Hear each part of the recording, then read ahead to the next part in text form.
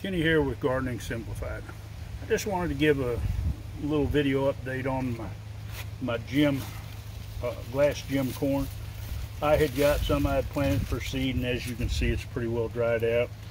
And I've taken and I've picked the cobs. This was just grown for seed and that's it.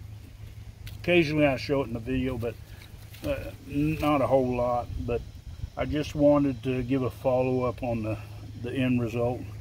And here's some of the cobs that's come off of there.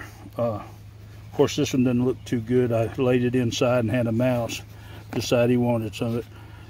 But as you can see, even though I, I was growing this for more seed for the spring, and uh, I used roughly about 10 seed in there from what I'd purchased. And as you can see, I have uh, gobs of seed for next year.